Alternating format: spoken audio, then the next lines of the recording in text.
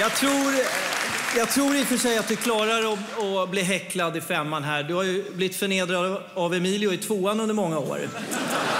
Och det har du ju stått ut med. Det var inga problem, eller hur?